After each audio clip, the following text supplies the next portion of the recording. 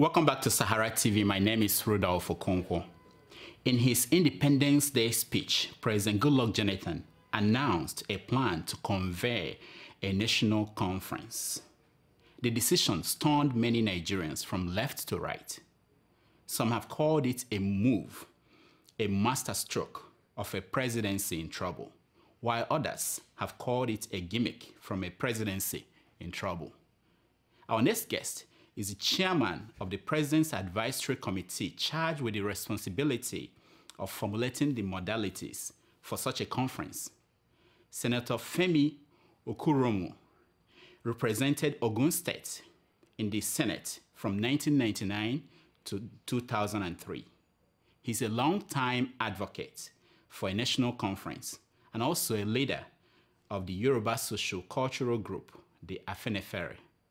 Senator Okurounmu, welcome to Sahara TV. Thank you very much. It's a pleasure to be with you. Yeah, let me, Senator, let me start uh, by asking you. At the inauguration, the president said to you, This is a serious tax. History beckons on you not to disappoint our people.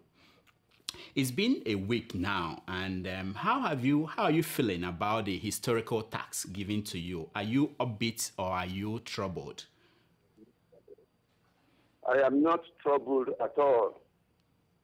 In fact, I felt much more than the president that this is a very serious task, Mm. a very, very serious responsibility that has been placed on the shoulders of my committee mm. under my leadership. Mm. Because Nigeria needs a national conference.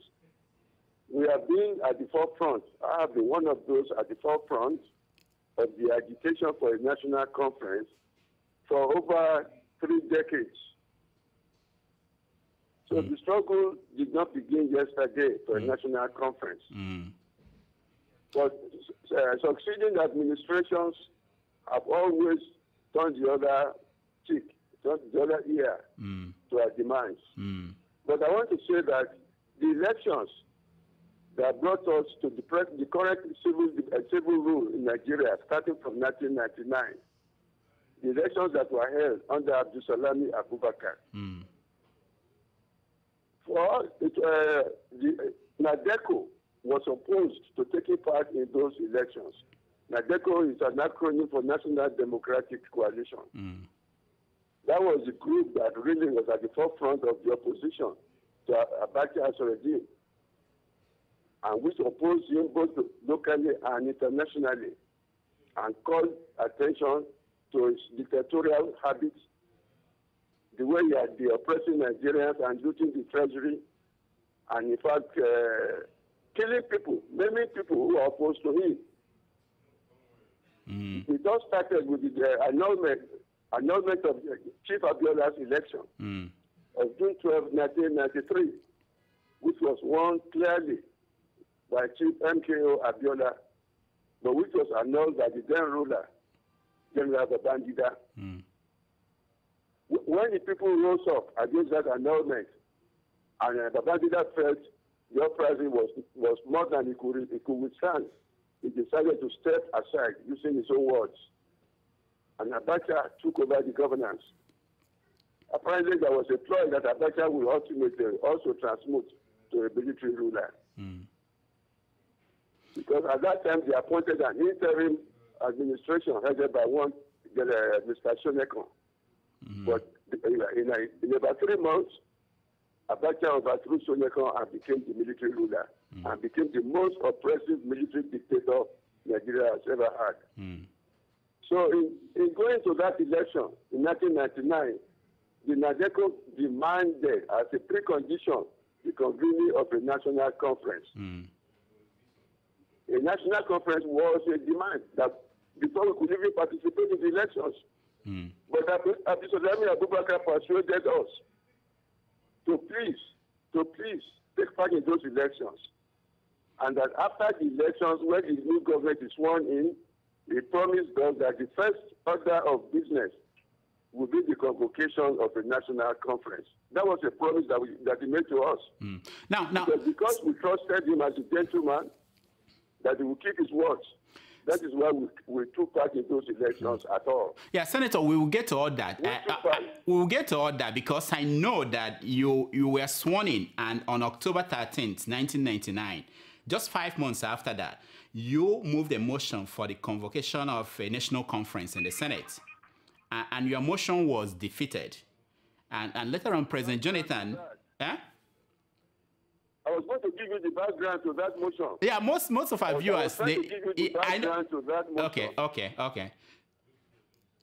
And Uh, most, the background to that motion was, having gone to the Senate without promise from Abdul Salami, it, was, it, it, it devolved upon me as one of the leaders of one of the leading senators that went on the on the platform of Nadeco to the Senate to move the motion for a national conference, and, I- and I moved that motion as you have as you have rightly as you rightly said.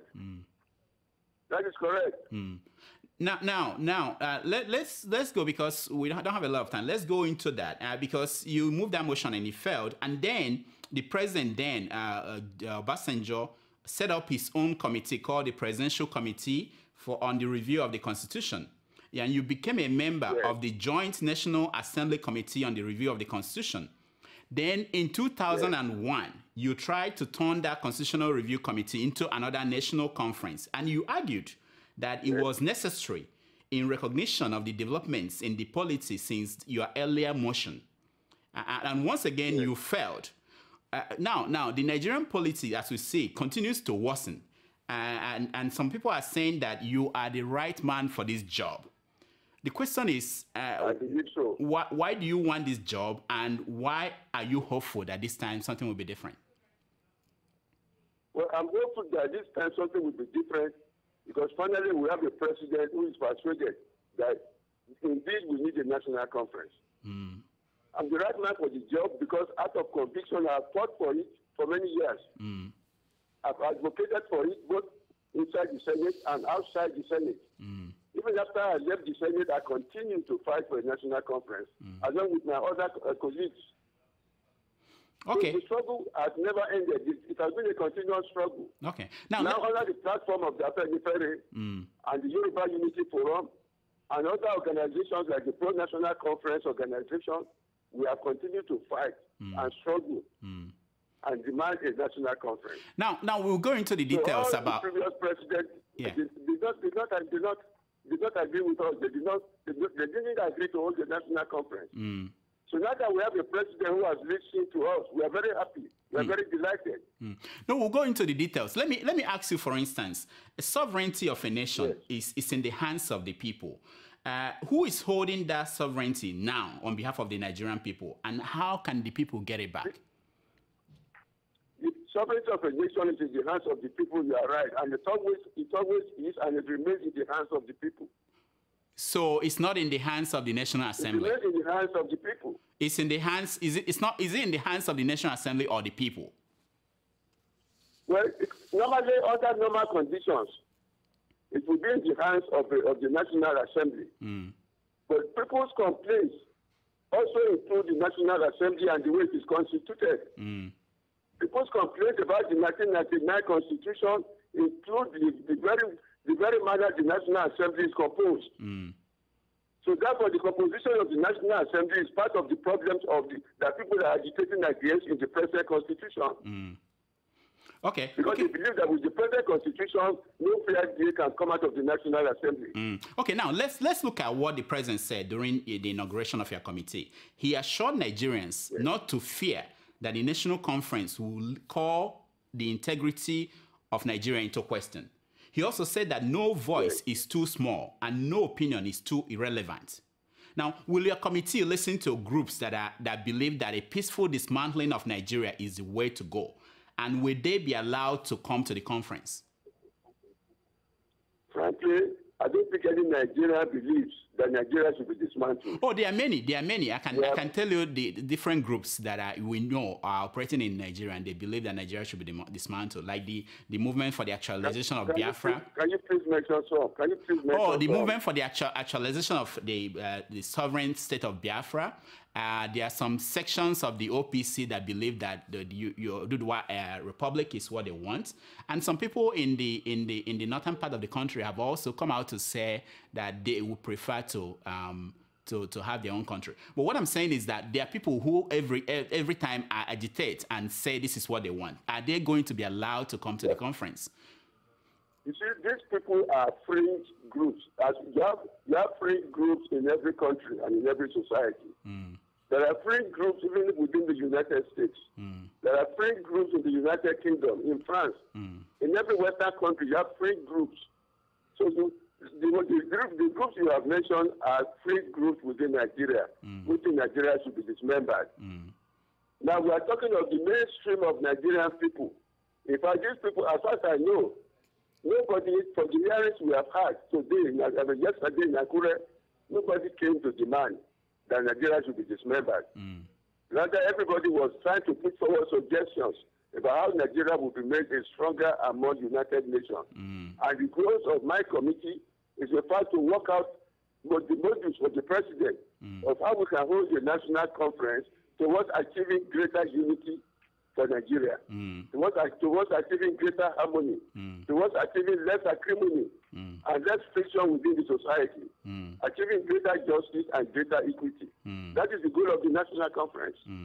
Yeah, and, and at that inauguration, you commended the president and you said that his sincerity was obvious because he did not establish a no go area for your committee. But then the other day, Yes. the president said that, announced that the decisions of the national conference will be sent to the National Assembly for ratification. Uh, doesn't that constitute a no go area uh, in, and in effect limit and gag your committee? That was not a directive to the committee by the president. It was not a directive to the committee by the president. The, the president can direct us if he so wants, but has, so far he has not directed us to do anything of the sort. So that's his own The submission. has a completely free hand. Mm. It, uh, you consider that the fact, president's uh, opinion, personal opinion. No, the, the, the, every, the president is a Nigerian Mm. and a very important Nigerian. But I'm saying he has given no such directive. Mm. Even as, the swearing in, he, he, he emphasized that he has given us nothing like no-go areas. Mm. And he kept re-emphasi- re-emphasizing that. Now, now, don't you think that by And expressing, I believe, I believe, Mm. I believe, wait a minute, I believe that people may be misinterpreting what the president said. Mm. Because at the, the last stop, the last stop for any output, any work, or any work of the national conference, the last stop will always be the National Assembly. Mm. And let me explain that to you. That is the last stop. That, that is where we all end at the National Assembly. Mm. The reason is this. We believe that, as I said, the sovereignty rests with the people. So the findings of the National Conference will first of all be subjected to a referendum. That is my own personal opinion. Mm. Be sub- subjected to a referendum by the people of the land, the people of the nation. Mm. And if those findings are endorsed and approved by the people, it is then they go to the National Assembly to enact it into a constitution. So they will have the final, the final job of enacting it into a constitution. But but can So- they reject? Can they reject what the, the people approved? Can the National Assembly reject it? Now we ask you, who is the who is the higher authority? Is it the people or the, the Exactly. National Assembly? Who is the higher authority?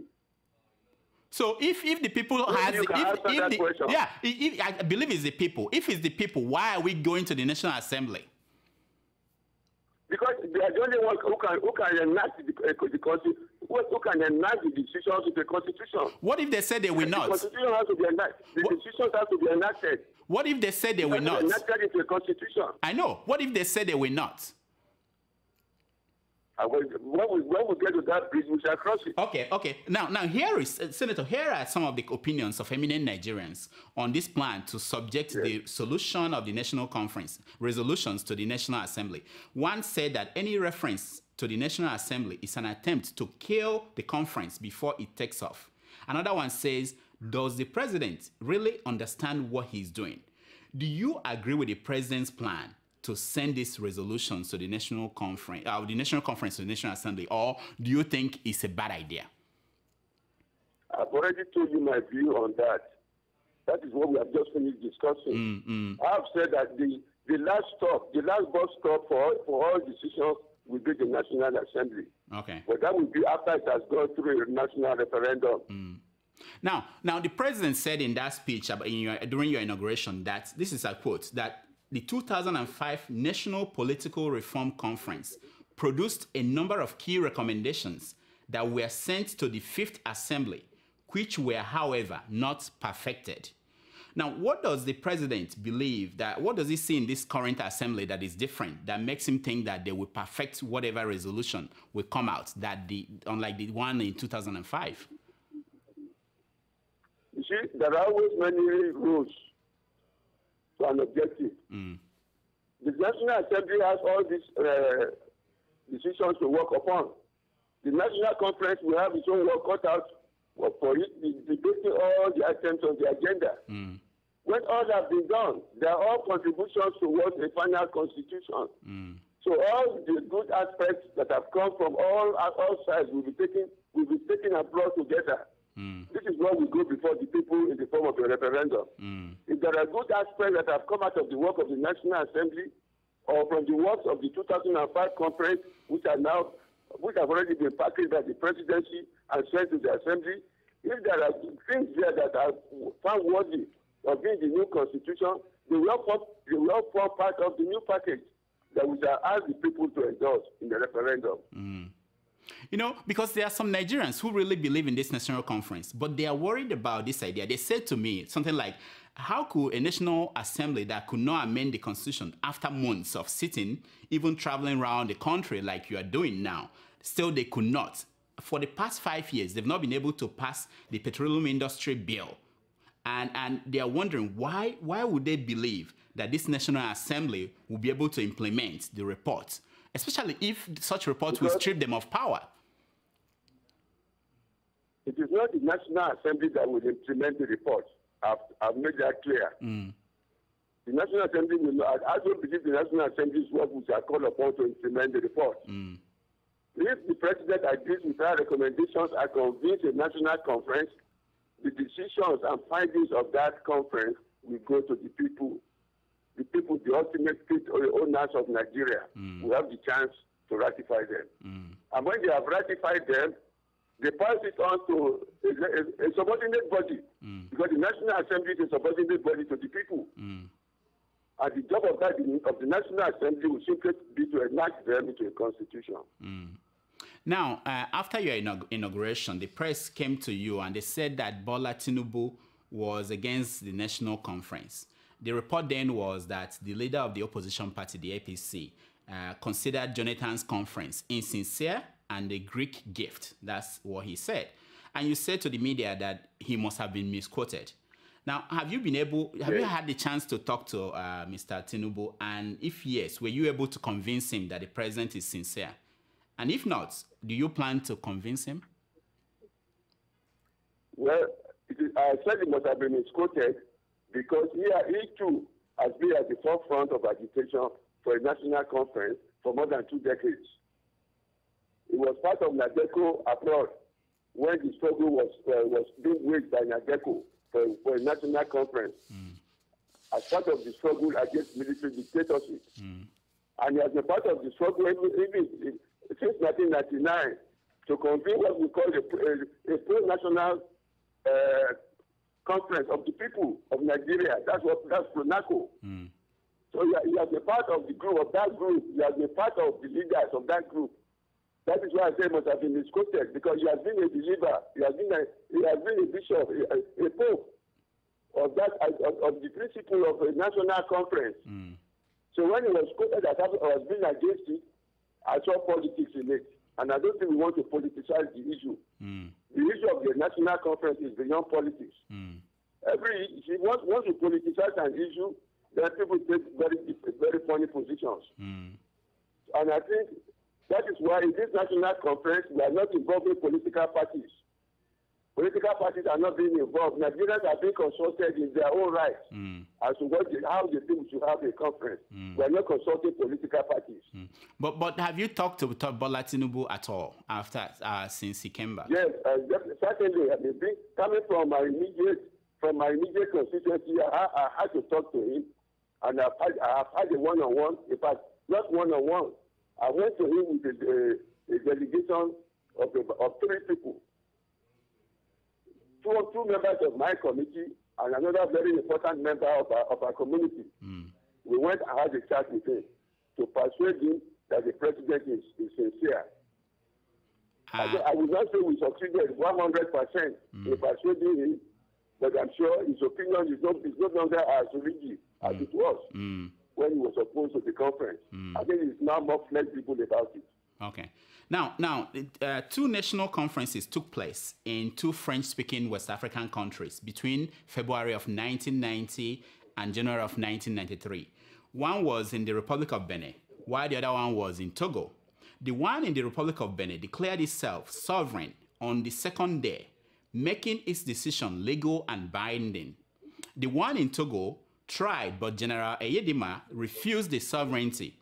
Now, 20 years after, the while the Republic of Benin is stable and moving forward, Togo is still battling uh, its own demons. Should we learn anything from the experience of these two countries? Well, the experience we have learned is that we are not trying to have a sovereign national conference. The conference we are trying to plan for is not a sovereign national conference. And that is part of the experience we have learned. In fact, when we began our demands, my, my first mission in the Senate was for a, sovereign national conference. But that, that generated a lot of reactions and debates. And from the reactions of my colleagues, from the reactions of the public, from the reactions of Nigerians, between then and now, majority of us at the forefront of a national conference have seen that we will, we will make our case better if we drop the word sovereign. Mm. Even though people are only being mischievous in misinterpreting what sovereign means. But just to avoid being misinterpreted, we have dropped the word sovereign from our demands.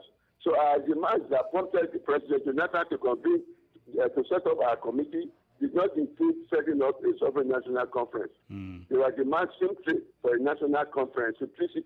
Thank you. Do, do, do you, do you know why people are afraid of sovereign?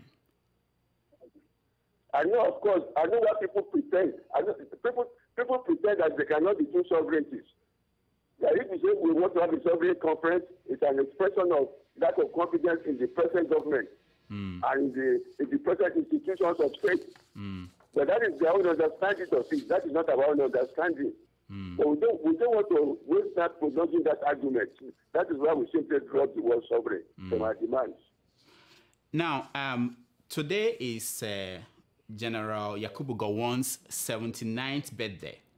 Sometime in 1967, he led a Nigerian delegation to Aburi, Ghana, for a conference Yes. with delegations from the eastern part of Nigeria to save Nigeria from descending into a civil war. Uh, uh, history recorded that, that conference as uh, the last chance to prevent Nigeria from going into an all out war. Now, we know how it all turned out. Is this conference that you are, you are helping to put together uh, the last chance for Nigeria to get it right? And if we don't get it right, are we at risk of having an international body like the UN or AU organizing a conference for us sometime in the future? See, I'm an optimist. I remain optimistic about Nigeria. Nigerians have all the qualities in the world, all the talent, all the intelligence. There's no, there's no intelligence that is present anywhere in the world that is not there in Nigeria. So I have confidence that Nigerians can get things right on their own. We don't need any international body to come and do things for us when it comes to organizing the national conference. Mm. This time I believe we shall get it right. Mm. I'm positive, I'm, I'm confident, I'm, hope, I'm hopeful that we shall get it right. Mm. Now, now you are an engineer, and uh, Newton's first law of motion says that an object at rest remains at rest, and an object in motion remains in constant motion unless an external force is applied. Some view the national conference as a kind of external force being applied to Nigeria to change Nigeria's state. But but New, New, Newton's third law says that action and reaction are equal and opposite. So have you factored yes. in the opposite reaction to your committee and the national conference, the one that you are going to encounter by this force you are applying to change the Nigerian situation? Yes, we have, in fact, we have always factored in the, uh, the opposite factor. That is why in my in my acceptance speech after the, after we were inaugurated, I made a, a comment that after we have finished this, this national conference, which will follow the work of our committee, even the skeptics will, will have changed their mind. Even the opponents will have changed their mind. I will now realize that they were wrong all the time. That this is a forward Nigeria we should have done many years ago. Now, some Nigerians, as I've said, I believe, I believe that we are on the right path. Mm. Now, some Nigerians say to me, and they've been saying it, that corruption is actually our number one problem, not uh, a national conference. I, I, know that the president disagrees with corruption as number one problem, but those people who believe that instead of wasting money uh, trying to have a conference, that we should actually invest it in trying to uh, perse- persecute corrupt government officials. Uh, in fact, on my way here, somebody called me and said that um, I should uh, ask you why wouldn't the president tackle things like that? Something like uh, deal with this this uh, allegation of corruption uh, on Stella Oduah, the aviation minister. That if the president should arrest her and try her, that he is going to leave a lasting legacy that is more than this jamboree. That's that's quote unquote how they they, they try to explain that to me. Uh, I want to ask you, what do you say to people like this who believe that corruption is our major yes, problem? I think look, it is, but they are right that corruption is a major problem, but it is not an either or situation. Mm. It is not saying it is corruption and not national conference or national conference and not corruption. That would be that would be myopic for anybody to say that. Mm. We need a national conference. Yes, but corruption is also a problem that must be tackled, yes. Mm. And I believe that corruption can be tackled. You know, while the, the issue of national conference is being tackled. Is there any way corruption that the nation... needs to be tackled? Whether we have a national conference or we don't have a national conference, corruption needs to be tackled. Mm. But but let me ask it's you. a serious problem. Yeah, and I'm it, the president himself is aware of this. Yeah. Is there any way so that, that the nation... has nothing to do with national conference? Mm. Is there any way that the national conference will help to deal with the issue of corruption? Well, the national conference is dealing with issues that are constitutional. Mm. If, it, if it is going to deal with issues of corruption, it can only deal with issues of constitutional measures, mm. constitutional provisions mm. for reducing corruption. Mm. That is the only way we can deal with it. Now, let me. Uh, but, but I'm sure that uh, when you look at all the measures that have been taken, uh, the EFCC, the, uh, the other agency, the two uh, the agency of government, the, uh, ICPC, ICPC, yeah. ICPC. So we have, we have quite a lot of agencies, not to talk of the police itself. Even before the ICPC and the EFCC, there was the police. The police was well equipped to handle corruption. Mm. So it is not it is not lack of agencies to tackle corruption. Mm. It's the political will. That's a different matter. Mm. Now, Senator, do you know the cost of this conference? I mean, like uh, the cost of what you, they, they put in place for your committee. Do you know how much it's costing the country? The, the, conference, I mean, the conference, we are just trying to, uh, our, our assignment is only a one month or mm. six weeks assignment. Mm. So we don't know what the conference will ultimately cost. Mm, mm. Now, so for, as for our own assignment, our own assignment is, uh, fact, it's on the, it's on the shoestring budget. Mm.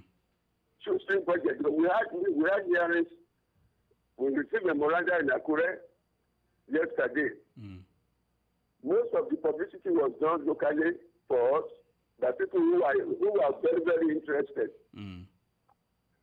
Mm. The accommodation in which we stayed was donated by people who supported us locally. Mm. We we came back from Akure as I've just as I told you before the start of this uh, interview. Mm. From Akure to Abuja, we came by bus. Mm. All of us we came by bus. Mm. So I, I, think we are working on the shoestring budget. Mm. This is not going to cost the nation very much. Mm. Now, um, uh, yeah, that's the next question I was about to ask because your tax required um, uh, is it, it, means that you have to travel around the country, and and some parts of the yes. country are not secured. You know, you are going to eventually get to Maiduguri. So uh, we were, I was about to ask you, yeah, I was about to ask if you are traveling with a bulletproof vehicle or something like that. You see, those people in Maiduguri are Nigerians. Mm. And every day, Nigerians do their business, still go to uh, Maiduguri to go and do their business. Mm. People go there every day and come from there, uh, living their normal lives. So if we want a better Nigeria, and we think we are going to provide that better Nigeria, we should not be afraid to take the same risks that every, every Nigerian is taking mm. to make our country better. Mm. Yes. Senator, one last question. We, uh, cannot be, we cannot be living in bullet. We cannot be going around the bulletproof cars mm. and saying that we want a better Nigeria. I agree. How many Nigerians can afford the bulletproof cars? Yeah, I agree. I agree. Now, one last question. There are some news report that uh, is suggesting that the Akure event was largely uh, boycotted by prominent people from Western Nigeria. Um, that some people were saying it was essentially a failure. Is, is, that is that how you say it? You see, some people are.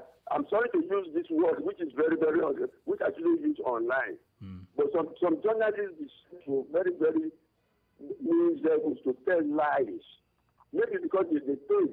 Mm maybe they are the on the payroll of some people who don't want the national conference.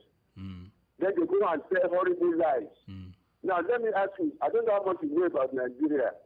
I will tell you some of the personalities who are present in the Akure event. I schooled in Akure, so. Mm. Eh? I schooled in Akure, so I know I, I, know a lot of it. Uh, yeah, go ahead. Yeah, I will tell some of the personalities present in the Akure event. Mm the Afenifere leader and the, many of the Afenifere leaders were there from Chief Ayo Adebanjo, Chief uh, Olu Falae couldn't there because he, he, he bereaved, but he sent out a memorandum. Uh, uh, the right Reverend Bishop Gbonigi was there. Mm. A lot of, uh, you know, sorry, just keep talking. Mm. Everybody was a leader. A leader in Yoruba that was there. Mm. All the Afenifere leaders, mm. uh, Chief Chief Shipo, mm. uh, Sonibare, Chief Arogbofa, all of them were there. Mm. Even the leaders of the Afenifere, uh, uh, the ARG, Afenifere Renewal Group were there. Mm. So who boycotted the, the venue of Akure was there. Mm. And it was, it was right there on the high table. Mm. So who boycotted? Which leader boycotted? All right. I, am happy you clarified that. Uh, Senator Okurounmu, thank you so much for coming to our show. It's a pleasure. And I hope uh, as you go along with your job, we hope you succeed and uh, you'll come back and, and tell us how it's going. All right. Thank you very much. All right. Thank you. That was uh, Senator Femi Okurounmu, who is the chairman of the President's Advisory Committee on the National Conference. He was giving us an update on how it's going. When we come back, we are going to continue our programming. We're going to have our Skype call segment when we are going to discuss some of these um, issues. And still remember, we are going to uh, give you our shows, regular shows, Keeping It Real and Dr. Damages. So stay tuned. Thank you.